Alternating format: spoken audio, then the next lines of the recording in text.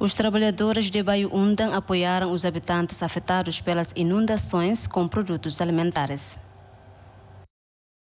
Os beneficiários são de Ailoclaran no suco de Hera. A ajuda visa atenuar as dificuldades das famílias afetadas pelas inundações. Os habitantes de Ailoclaran agradeceram a ajuda dos trabalhadores australianos. O programa idêntico deverá ter lugar em outras localidades.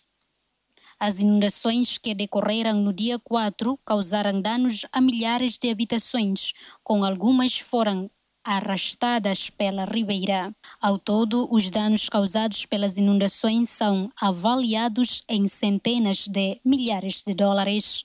Adérito Manos na reportagem.